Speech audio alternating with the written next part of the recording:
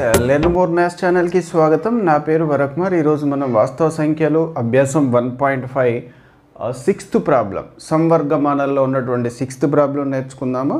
So చూడండి ఏమడుగుతున్నాడో? Log of x plus five divided by three is equal to one by two into log x plus log y అయినా x by y plus y by x విలువను కనుగొనండి. So important student. So చాలాసార్లు మనకి ఇది four marks వచ్చినటువంటి problem. So సింపుల్గా ఎలా solution చేద్దామో చూద్దాము. Solution.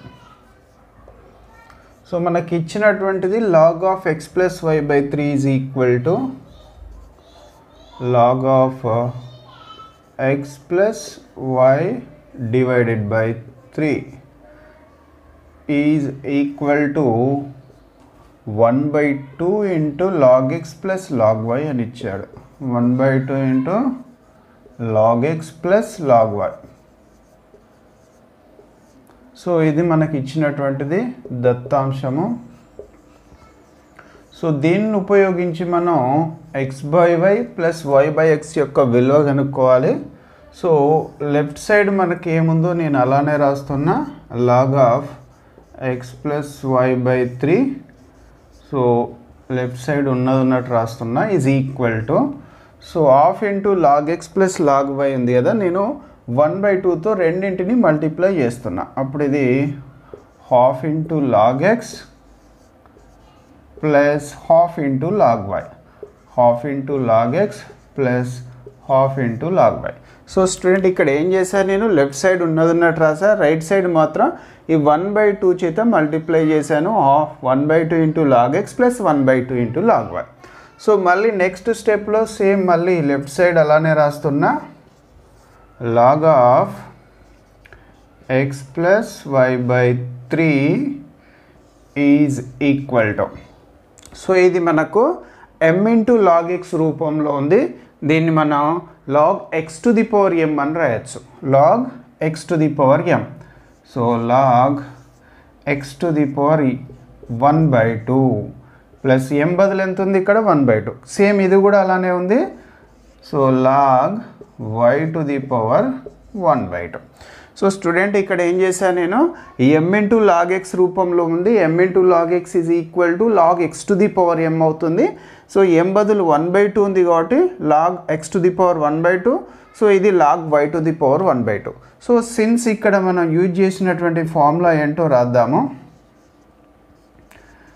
M into log x is equal to log x to the power m log x to the power m ఆ ఫార్ములా యూజ్ చేసి రాసాము.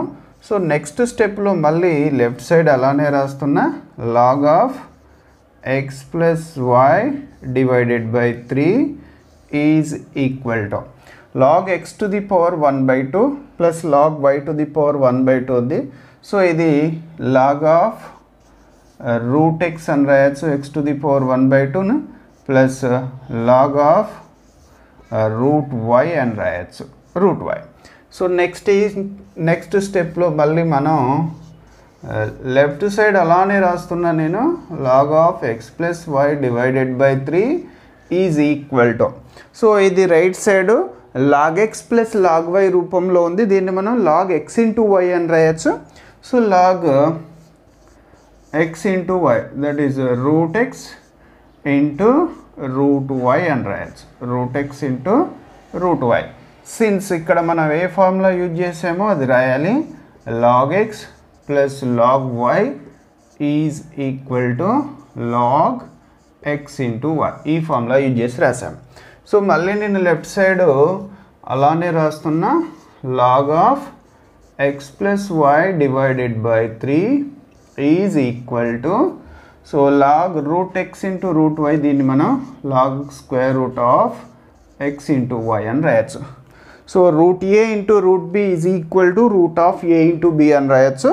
సో సిన్స్ ఇక్కడ మనం ఏ ఫామ్లో యూజ్ చేసామో రాస్తున్న root of a into root of b is equal to root of a into b అని రాయొచ్చు.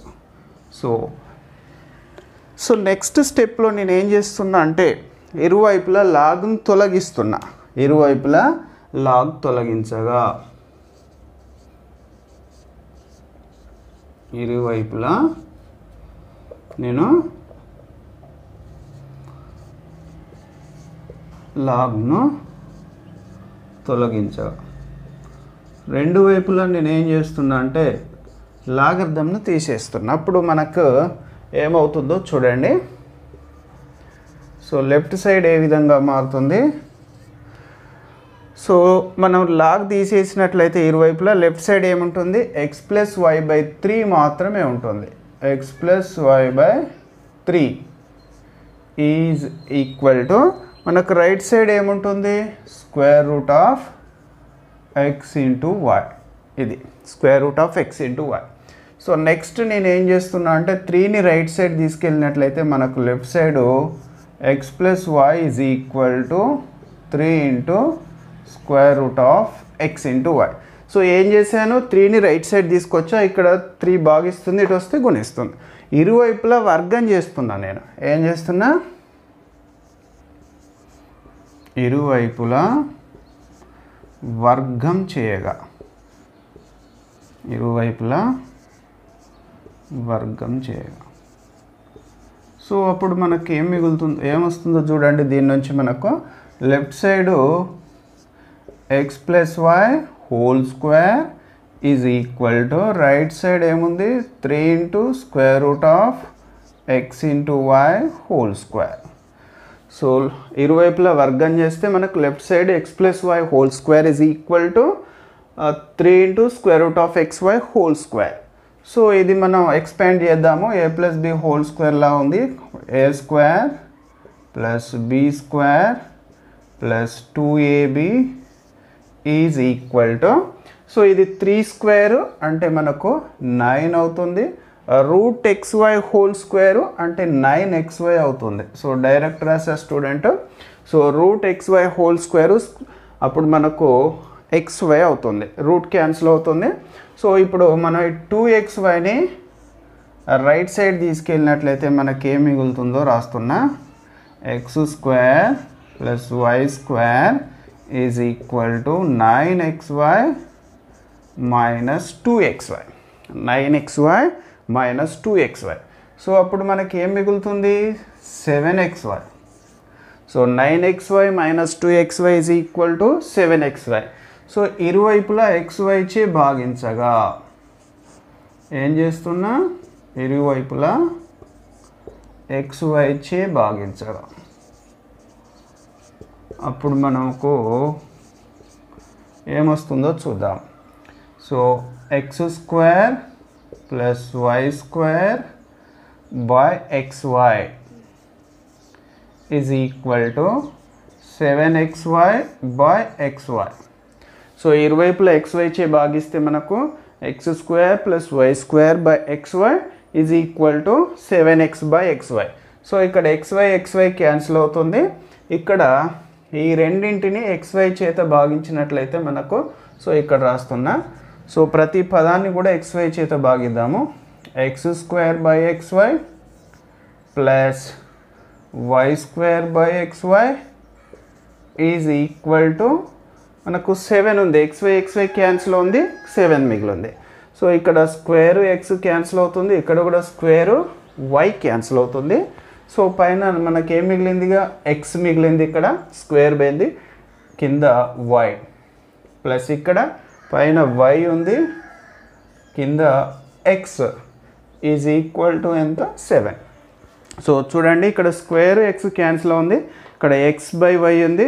ఎక్స్ బై వై ప్లస్ ఇక్కడ స్క్వేరు వై క్యాన్సిల్ ఉంది y by x is equal ఎంత వచ్చింది మనకు? సెవెన్ సో మనం కనుక్కోవాల్సింది ఏంటి? X by y plus y by x విలువను కనుక్కోండి అంటున్నాడు.